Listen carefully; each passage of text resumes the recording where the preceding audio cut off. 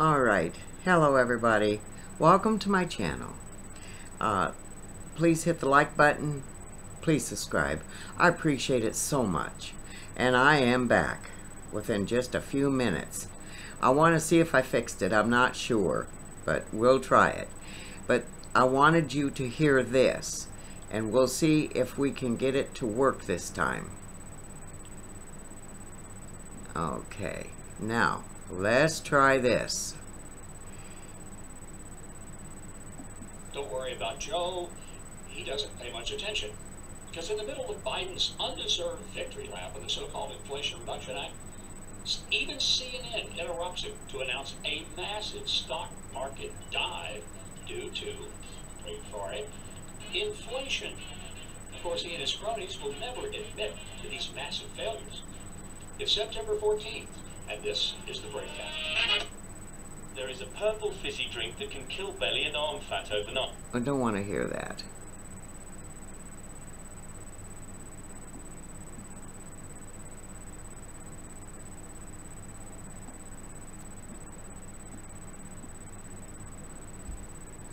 So you're going to have to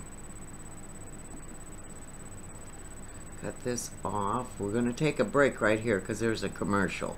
So hang on, I'll be right back. There we are.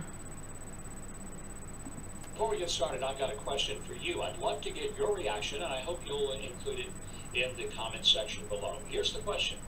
Biden celebrated this inflation-fighting bill yesterday, even as the stock market tanked are you actually paying less for things that you buy compared to two years ago? Simple question. Are you paying less than you paid two years ago for stuff? I hope you'll leave your thoughts in the comments section below. We'll be sure to read them, and I'm anxious to see how you feel about the inflation fighting bill. And if you haven't already, I hope you'll consider subscribing and clicking the notification bell. And be sure to leave us a like as well. Well, we have a number of things we want to take a look at. Yesterday really was a surreal day. The stock market tanks because inflation is at a 40-year high.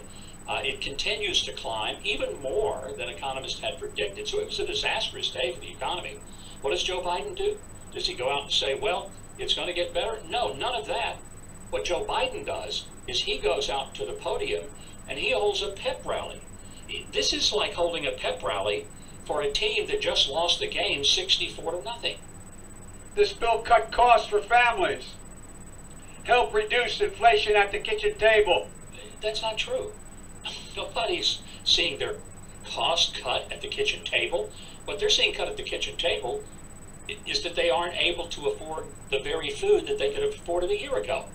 They're not buying bacon and butter and bread at the same prices. It's going up, not down. And Joe Biden is out there standing and, and flat-footed saying, oh, it's really going well. It's like he's the captain of the Titanic, and he goes out on the deck as the ship is sinking and says, guys, got great news for you. Free ice cubes for everybody. That's how insane this is. It gets worse. Uh, Biden, as he's speaking, in the middle of his speech, of all networks, CNN says there is this unfortunate split screen and what he's looking at is the Dow taking a total beating. It's kind of hard to be celebratory for some people. Let's watch.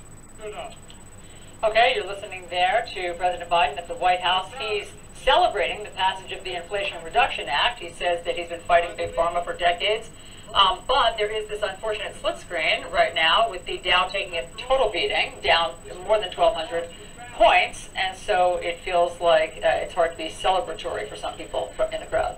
Well, it wasn't hard for Joe Biden to be celebratory. There he was, standing there telling us how great a job he's doing. As even on the screen at CNN, it shows the Dow had dropped over 1,200 points. That is a huge, let me just say, a huge drop. And if you're thinking, well, that doesn't really affect me, I'm, I'm not a stock market guy, let me ask you something. Do you have a 401k? Because if you do, it affected you a big way yesterday. I, I advise you don't look at your 401k on a day-to-day basis. It'll make you sick. Over the long haul, you'll probably be okay. But if you're in retirement and your retirement checks are dependent upon your 401k, dependent upon the market conditions, you took a drubbing yesterday And not only are your grocery prices up substantially, but your paycheck with which to buy them is substantially down. Well, let's go to the White House because our ever faithful and reliable Karine Jean Pierre tells us that don't worry, be happy. Things are going well. Overall, uh, prices have been essentially flat in our country these, these last two months. Now, there, there's a big disconnect here.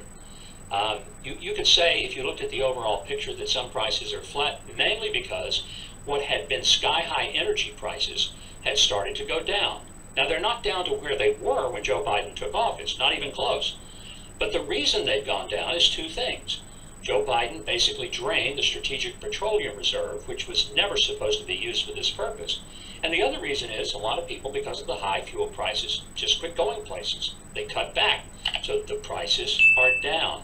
Inflation was still 8.5% and 8.3% for July and August, respectively. Likely to get much worse with the passing of the Inflation Reduction Act, which is anything but that. Here's Karine Jean Pierre once again trying to, I guess, dig her way out of a very deep hole. What? Hey, so check it out. This is a emer- Okay, we're going to take a little break here right now. Another commercial. So let's go and pause for a second. Be right back. So, I, I when you look at um, the lowering costs in particular uh, for uh, for Americans, I think that's important when you think about how inflation uh, has uh, has increased uh, costs. Rarely have I heard someone in a high level position say so little and do it with such attempted authority, but coming across like an absolute buffoon. That was the most meaningless, ridiculous statement I've heard from a podium in a long time, a podium anywhere of any kind, and this is the White House podium. Go back and listen to it. What did she say? Basically nothing. And you can always tell when she's absolutely, totally over her head, and the water has has engulfed her because she starts shifting from one foot to the other. She puts up her hand and she starts the sentence with so, so, and then she says nothing.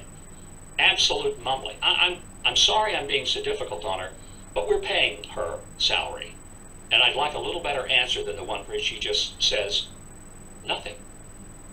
MSNBC, Stephanie Ruhle from uh, MSNBC, is talking about how that the Biden inflation is wiping out any wage gains. So this talk about, well, wages are up. Not really. It sure is, Jose, and that's why people are so frustrated right now. Things like eggs, milk, butter, you've got to buy those things every week to keep your family in good shape. And the fact that they're up that much, even though wages are up, they're simply not up in line. And you can be saying, hey, I got this raise. Your raise means nothing if you had to spend it all on milk, eggs, and bacon. Yep. So that's the end of that now. Yep.